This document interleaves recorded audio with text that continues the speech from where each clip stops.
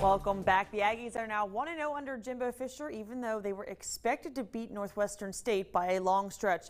And now it is obvious that there's no comparison between Northwestern State and Clemson. After all, the Tigers are the number two team in the nation, and Jimbo Fisher is no stranger to stepping into the Lions' den.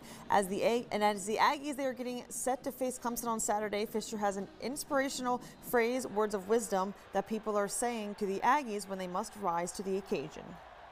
We have to rise to the level of our, of our competency in ourselves. That's the whole quest you got to have. And I know people don't, but you do. You got to rise to the key.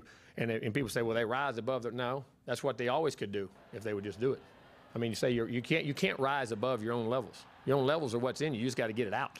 It's got to come out, and, what, and that's what we have to learn. If we want to be a championship team and to play at a high level consistently, week in, week out, you have to reach your own levels and do your own thing and understand how to compete at the levels you have to. And don't worry about the scoreboard. Don't worry about your opponent. And you know, you respect your opponent. You go against their schemes, and you know they're a very good football team, and you have respect for them. But you got to respect yourself.